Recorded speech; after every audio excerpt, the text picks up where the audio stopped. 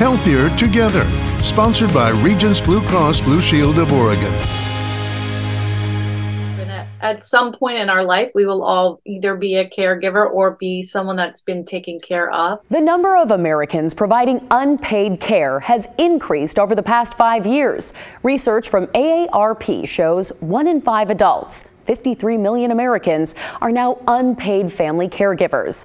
That's doing everything from grocery shopping and medication management to round the clock care. November is Family Caregiver Month, and in this week's Healthier Together, we're taking a closer look at the impact. Uh, caregivers are often forgotten, um, not noticed, overstressed.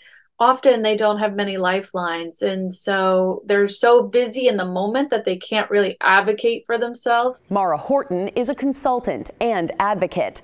She was the caregiver to her husband, who was diagnosed with Parkinson's at an early age. He, by trade, was a career college football coach and they're not generally used to losing um, some of the independences, especially with their physicality. One day, he found himself trapped in a locker room, unable to get dressed. A player by the name of Russell Wilson saw him struggling to get dressed and uh, went over, helped him get um, get dressed to catch a team plane to get to get home on time. Um, my husband came home and told me he had a hard day and told me a little bit about that story and I knew that this was the prefaces of him losing some things that we all take for granted. She designed magnetized technology inside clothing to help people with limited mobility and dexterity. And that mission to help others has turned into advocacy for caregivers and those they're caring for. So after my husband passed away, I thought it was very important for me to start advocating for those who cannot at that current time, you know, voice what their needs are or try to find resources. According to a 2020 report, 21% of family caregivers say their own health is fair to poor. 45% have at least one financial impact. Well, no one thing can fully take away the weight of caring for a loved one. The Caregiver Action Network has 10 key tips. First, seek support from other caregivers. You are not alone.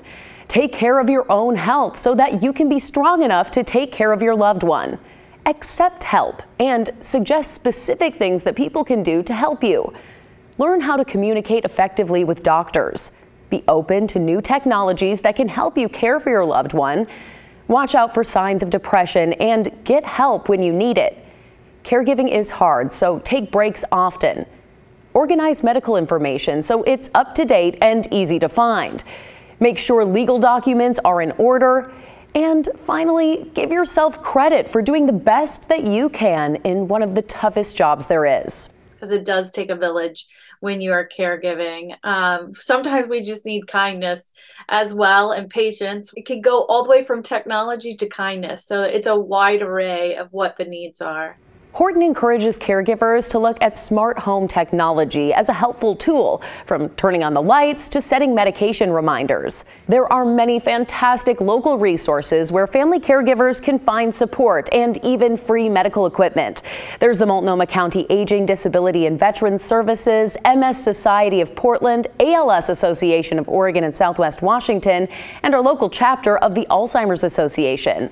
The Jewish Federation of Greater Portland and the Caring Closet nonprofit in Southwest Washington also provide free medical equipment and rentals. And find links for more information on these local resources at kgw.com slash healthier together.